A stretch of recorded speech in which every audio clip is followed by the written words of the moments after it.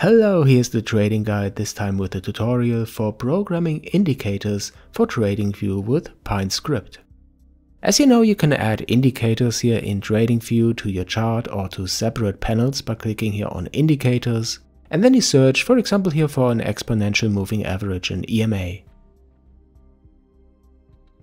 Here you can see it on the chart, the blue line.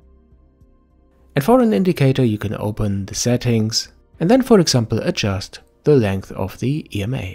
You can also edit the style, like here the color or the thickness of the lines. That's nice, but if you want to have another EMA that has a different length, then you would have to add a second indicator. That's possible, but if you have a free account, you're limited to three indicators. Now let's assume that we want to add an RSI and a stochastics. This is not possible because of this limit. But if we can code our own indicators, then we could add, for example, three moving averages to one indicator. We are just coding it using PineScript and I will show you now how you can do that.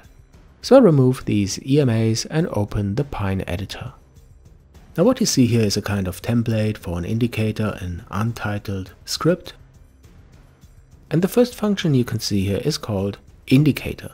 And you can define a name for this indicator. And the default name is my script and we're going to change it here to my 3 EMAs because we're going to add 3 EMAs in this indicator code. 3 exponential moving averages that we can configure.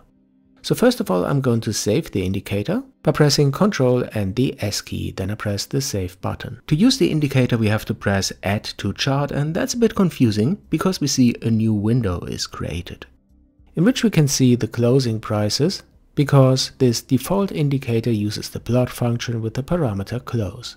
That's nice to get started, but what we wanted to see is an overlay for our chart. So go ahead and close this window.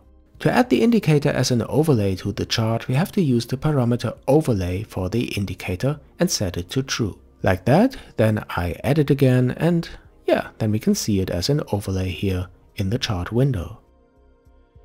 But of course we want to see a moving average, not the closing prices. So let's go ahead and code it. First I remove the plot, we will add it again later on when we have the exponential moving average.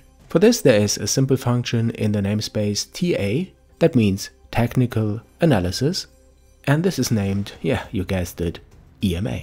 The first parameter is the source of the EMA that we set to the close of the price, and then we have a parameter for the length, and I set it to 8 for a first test.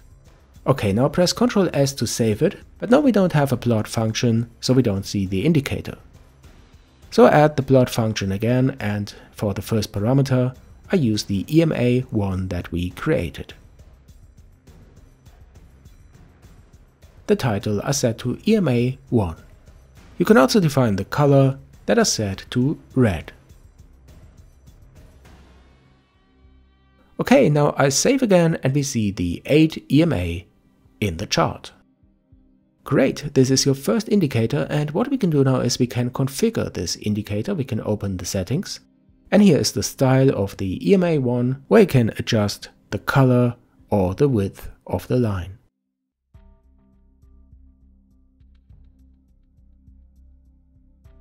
Nice, but the length of this EMA is static, it is set to 8, but we want to make it configurable as well. So instead of using a constant value, we use the input function to define the length, because then this value can be edited in the settings panel. The title is set to length EMA1, this is what you see then in the panel, and the default value is set to 8. Okay, we have a typo here for the brackets. And now it works when we save the indicator. Okay, so let's see how it looks like when we open the settings. Still we can define the style, but we have an input tab now. And here we can define the length of the EMA. So see how flexible this is.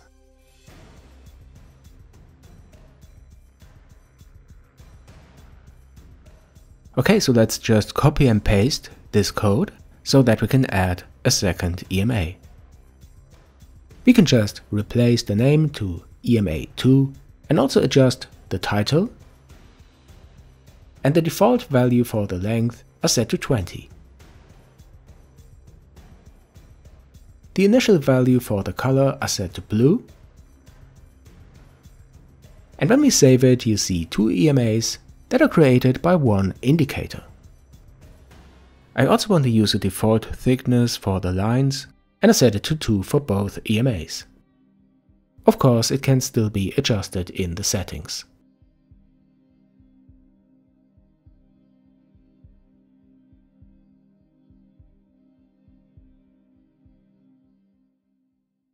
Alright, looks nice, now we add a third one and then we have three EMAs.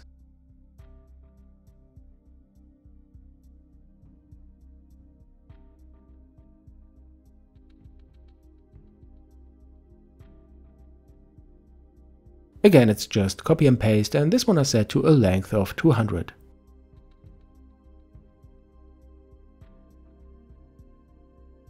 Great, now let's suppose you want to know when two EMAs are crossing, like the first and the second one.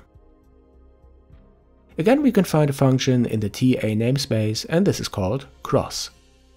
It returns a boolean value, this means true or false, and as parameters you can add two EMAs. I use EMA1 and EMA2.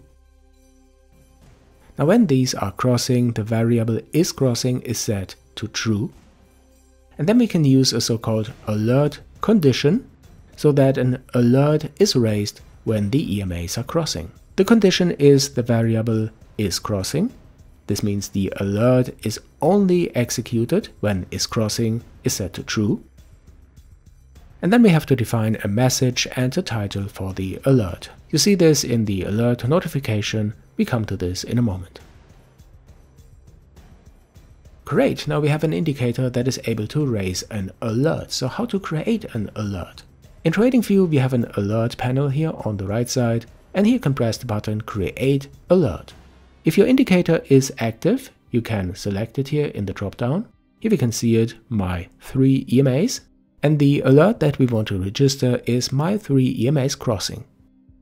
Now you can define if you want it to be executed only once or once per bar, per bar close or per minute, and where you are notified, for example, on your app or email. Okay, now you have a local indicator, which is nice, but you can also publish your script. This means you share your indicator so that other users can use it as well.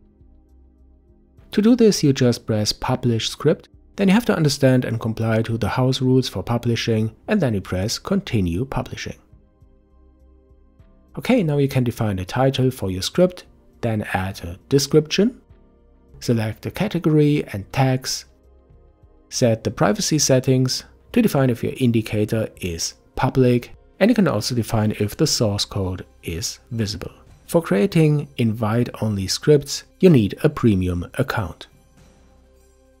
And now you see the benefit. You have three EMAs, and even with a free account, you can still add other indicators like a stochastics or an RSI because you are allowed to add three indicators with a free TradingView account.